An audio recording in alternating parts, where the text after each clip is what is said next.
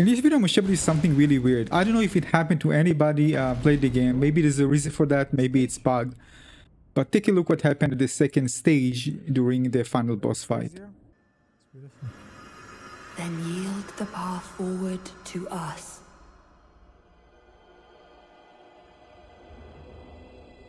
To I, Miquella, and my promised consort, Radahn.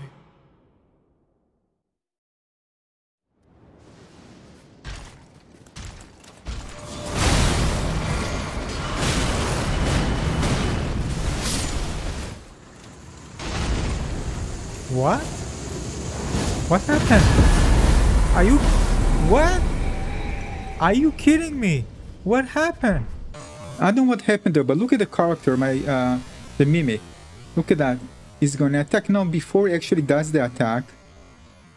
But I think at this point, Miquella maybe is exposed, and maybe if you hit Miquella at this stage, you can just end the entire second stage.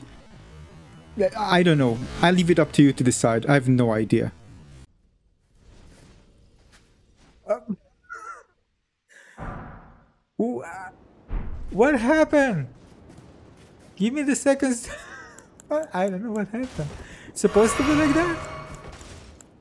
I wanted a second stage.